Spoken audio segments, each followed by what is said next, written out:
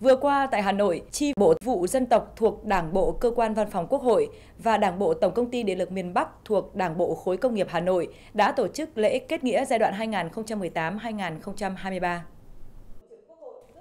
Tham dự lễ ký kết có Ủy viên Bộ Chính trị, Phó Bí thư Đảng đoàn, Phó Chủ tịch Thường trực Quốc hội Tòng Thị Phóng, đại diện lãnh đạo các đơn vị thuộc Hội đồng dân tộc, Thành ủy Hà Nội. Mục đích chính của chương trình kết nghĩa là nhằm phối hợp, tăng cường trao đổi, chia sẻ kinh nghiệm hoạt động công tác Đảng, công tác lãnh đạo, chỉ đạo thực hiện nhiệm vụ chính trị của hai bên, phối hợp hỗ trợ thực hiện có hiệu quả công tác dân tộc, chính sách dân tộc trên địa bàn vùng dân tộc thiểu số, miền núi, biên giới các tỉnh, thành phố khu vực phía Bắc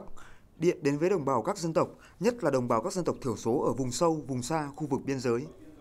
Phát biểu tại buổi lễ, Phó Chủ tịch Quốc hội Tòng Thị Phóng đã đánh giá cao sáng kiến cũng như kết quả phối hợp giữa hai tổ chức đảng thời gian qua trong việc chăm lo đời sống cho đồng bào các dân tộc miền núi tại 27 tỉnh thành phố phía Bắc. Với sự lãnh đạo của Đảng, Nhà nước, kinh tế xã hội của đất nước nói chung, nhiều địa phương ở miền Bắc nói riêng đã có bước phát triển vượt bậc, đời sống vật chất, tinh thần của đồng bào dân tộc đã được nâng lên, an ninh quốc phòng, trật tự an toàn xã hội ổn định, niềm tin của nhân dân của đồng bào vào Đảng, Nhà nước tiếp tục được giữ vững và củng cố.